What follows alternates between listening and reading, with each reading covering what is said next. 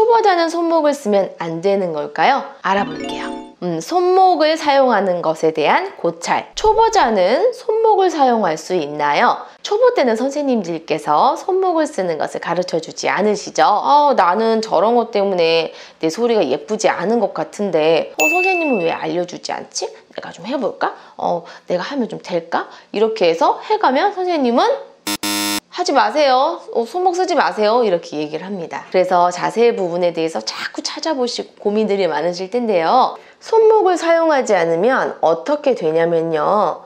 여기를 사용하게 됩니다. 여기를 쓰게 돼요.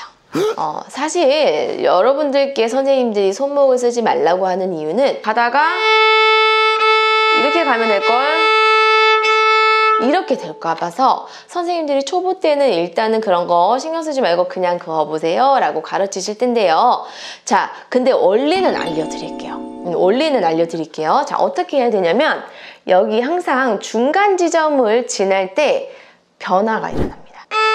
가지고 와요. 중간 지점에 됐을 때 손목을 안쪽으로 눌러서 보이세요? 손목을 안쪽으로 손목이 들어가죠? 들어가서 활을 그어야 되고요. 올라갈 때는 이 상태로 이렇게 긋다가 중간 지점을 기점으로 손목이 튀어나옵니다. 그쵸? 손목이 튀어나와요. 그리고 여기서 그냥 가세요. 뭐 이렇게 꺾으려고 너무 하시지 마시고 그냥 가세요. 가고 또 중간 기점이 되면 손목이 들어가야 돼요. 그런데 여기서 중요한 거 손목이 들어갈 때 활대가 정확히 내가 가던 길 막 여기 이제 누르라고 하면 여기가 이렇게 미끌려 있어 여기가 있거든요. 정확히 내려가면서도 갔던 길 그대로 가서 여기서 끝에 지점에서 검지로 딱 버텨야 돼요. 누가 밀어도 쉽게 미끄러지지 않을 정도로 버티시는 게 중요합니다. 여러분들이 손목을 사용을 해도 소리의 사운드 변화는 없어야 돼요. 가다가 약해진다든지 가다가 잉 이렇게 된다든지 이런 현상이 없게끔 하는 것이 그 첫째입니다. 때 초급 때 어, 손목을 쓰지 말라고 하지만 손목을 쓰는 친구들이 있어요. 그런데 그 친구들한테 선생님이 손목을 쓰지 말라 그러냐? 그렇지 않아요. 왜? 그 원리가 맞거든요.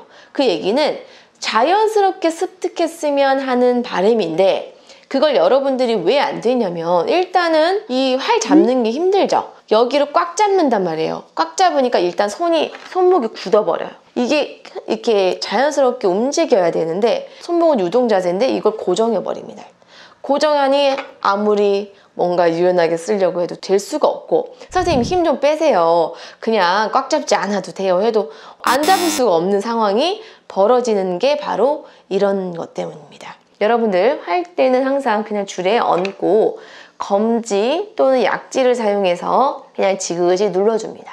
할 때가 좀 이렇게 활털과 붙을 수 있을 정도로 활털과 이렇게 좀 이렇게 보통 긋다가 이렇게, 눌려지는 거예요. 그렇죠? 근데 눌렀다가 금방 떼버리시는 거는 아직 숙달이 안 돼서 그래요. 계속 누르고 있을 수 있어야 돼요. 자, 다시 보세요. 손목을 사용을 해야 여기를 안 씁니다. 항상 중간 지점을 지날 때 보세요. 여기서 시작했죠? 중간 지점을 지날 손목을 눌러서 여기가 이렇게 뒤로 안 빠져야 돼요. 그대로. 그대로 팔꿈치 펴서 이렇게 됩니다. 팔꿈치 펴서, 펴서 그대로 됐죠? 여기서 그대로 올라가요. 그대 올라가다 보면 중간 지점을 지나면서 검지로 미니까 손목이 튀어나와야 돼요. 원리가 이겁니다. 내가 이미 팔뚝을 쓰기 시작했어. 습관이 그렇게 들어버렸어. 그러면 이걸 못 쓰실 거예요. 신호잡기 1권이나 어, 홈한 1권을 보면 하나, 이런 박자들 있잖아요. 느린 박자, 한 박자, 두 박자, 네 박자 이런 연습곡들을 이 손목을 생각하면서 연습을 하시는 거예요. 중요한 건 사운드 크기, 사운드의 느낌의 변화가 없게끔 연습을 하시는 게 키포인트입니다. 아시겠죠? 음. 그 다음에 이제 스즈기를 해야 돼. 그러면 이거 신경 못 써요. 스즈기는 어렵잖아요. 우리가 박자도 생각해야 되고 음정도 생각해야 되고 항상 연습은 느린 곡에서 따로 하시고 스즈키 할 때는 그냥 다 있고 곡을 표현해내고 내가 테크닉적으로 완성하는데 포커스를 맞추고 하시면 돼요. 자, 한 번만 더 보여드릴게요.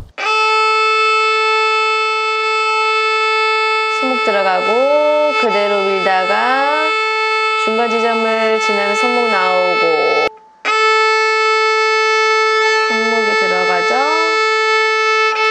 지점. 자, 여기서 사실은 할 때를 이렇게 바깥으로 좀 꺾어야 손목이 튀어나오기 좋긴 해요.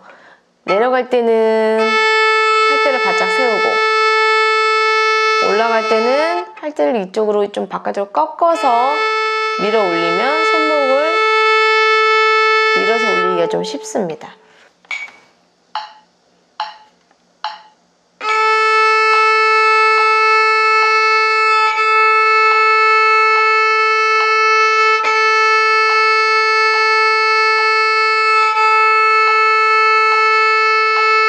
네, 오늘 활쓰기에 대한 활 각도에 대한 얘기는 어, 여기까지였습니다. 궁금하신 사항은 항상 어, 댓글로 남겨주시고요. 그럼 다음 시간에 다른 유익한 영상으로 찾아뵙겠습니다.